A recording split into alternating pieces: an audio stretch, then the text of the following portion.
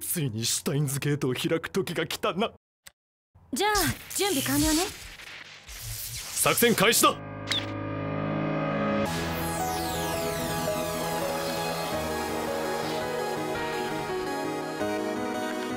不活だった。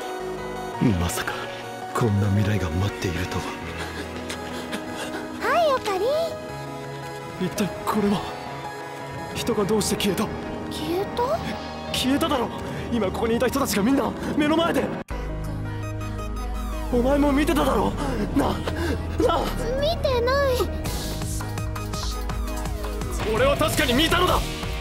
お前が刺されているの。をラジカンの中町博士記者会見。オカリン妄想はチラ裏だけにしとけって。中町博士の会見は中止になったっしょ。あ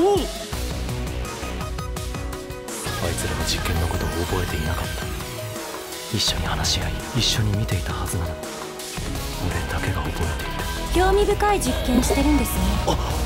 岡部倫太郎。タイムマシンはセルによって独占されています。一般人も企業も手に入れることはできません。彼らは自身の利益のためだけに用いて世界にディストピアをもたらしました。おそらく D メールによる過去改変ねセルンをハッキングしろ。奴らの悪事を暴きタイムマシンについてのヒントを手に入れろ。ショックなのはわかる。けど知ってしまった以上何らかの結論は出さなきゃ。オカ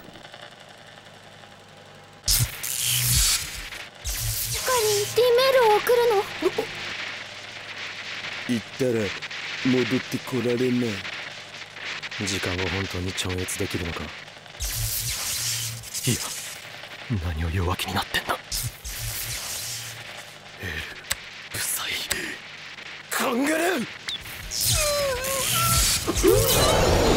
メールを送るたびに何かが少しずつ変わっていく。俺の知らないところでも何かが変わっているのかもしれない。もしかしたら俺たちはもう取り返しのつかないことを私は父と同じ失敗は繰り返さない。私の目的は未来を変えることそしてその力を持っているのはあなたかもしれない。なんかオカリンは遠くに行っちゃう感じがするのです。こっちには未来ガジェット8号電話レンジカッコ仮があるのだ。先に完璧なタイムマシンを作り出しそして世界の支配構造を作り変えるのだ。これは抗える者たちに対する神からの最後通告と言えよ